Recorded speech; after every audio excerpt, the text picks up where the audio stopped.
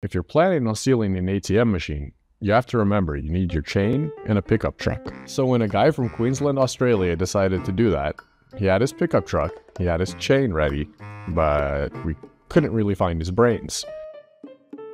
So he turned up at the store, and with his trusty hammer, he smashed his way through the glass door.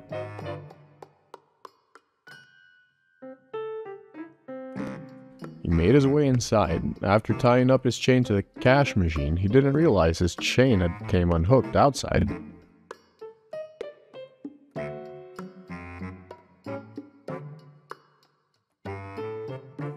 A few minutes later, of course, he returned to the scene of the crime to try again. It's then when he realized uh, his chain was a bit short. So he fled the scene without his ATM machine, without his chain, and I think he forgot his hammer. And most importantly, cashless.